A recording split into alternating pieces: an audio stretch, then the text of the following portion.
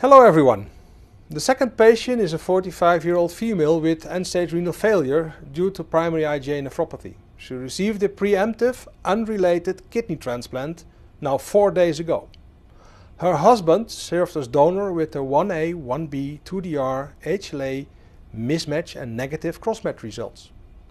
She had no previous transfusion of blood products and together they shared two children. Immunosuppression was provided by induction therapy with an IL-2 receptor blocker and the standard current triple maintenance therapy.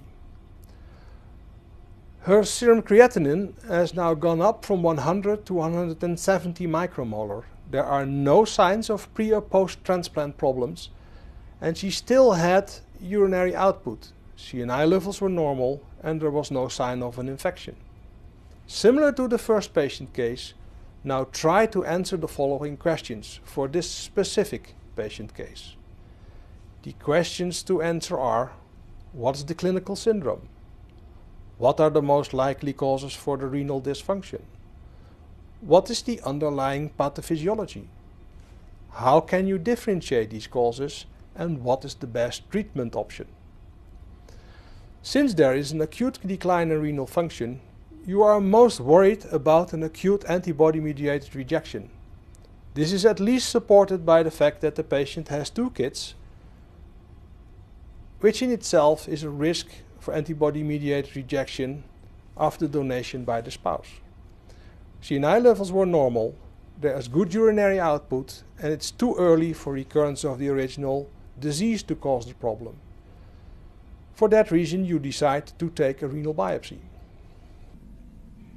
In this biopsy, a combination of lesions in glomeruli, vessels, and the interstitial area are found. Already from a low power view, the glomeruli look hypercellular. This is because there are inflammatory cells in the capillary loops, mostly lymphocytes and monocytes, and the endothelium shows reactive changes in the form of endothelial swelling. The GBM is normal, there are no double contours. In the interstitial area, a mild tubulitis is found in a limited number of tubes. Some of the vascular changes are impressive. This artery shows lymphocytes which have invaded the endothelial lining, giving rise to a compromised vascular lumen. Focusing on the peritubular capillaries, we can appreciate capillaritis. By light microscopy, there's no evidence of microthrombi. This is a C4D staining, showing positivity for C4D in almost all peritubular capillaries and also in glomerular capillaries. Taken together, the histological lesions, together with the positive C4D staining, are characteristic of acute antibody-mediated rejection. The clinical pathological diagnosis of this patient is acute kidney injury due to antibody-mediated rejection, also known as ABMR.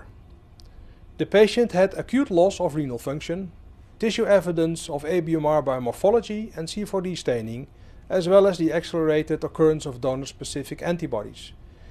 In a previous lecture you learned about the immunology and the treatment of ABMR. Removal of the circulating antibodies plays a central role in the treatment of this entity. Acute ABMR is also associated with poor outcomes after kidney transplantation. These patients are at a greater risk for subsequent rejection, chronic ABMR, and premature graft loss. However, not all ABMR phenotypes have an equally poor outcome. Strategies to prevent ABMR are of key importance. The present case illustrated the potential risk of pregnancies in female recipients of spousal donor kidneys. Theoretically, the risk of accelerated HLA class 1 AMR with repeat challenge can be reduced by paired kidney exchange and or acceptable mismatch programs as will be discussed in Module 2. There is still much discussion about ABMR including its classification, diagnostic approach and efficacy of strategies for desensitization and or treatment.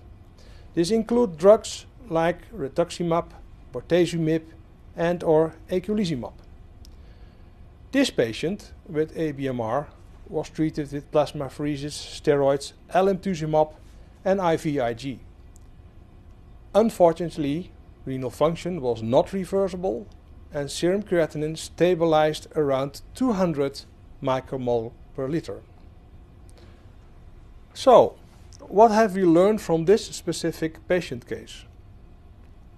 Antibody mediated rejection is characterized by tissue injury, as shown by morphology, tissue deposition, and the occurrence of donor specific antibodies.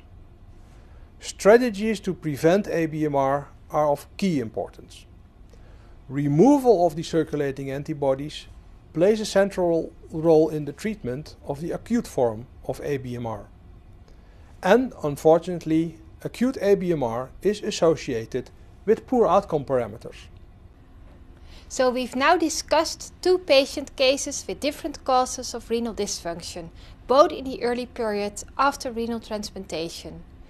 The first patient had acute tubular necrosis and cellular rejection, and the second patient had an acute antibody mediated rejection. As you see, there are similarities and differences between both patients, so try to compare them and discuss it on the forum. In the patient interview, you will get to know more about the impact of the first months after the transplantation. When the patient got through the first three months, it doesn't mean that everything is stable.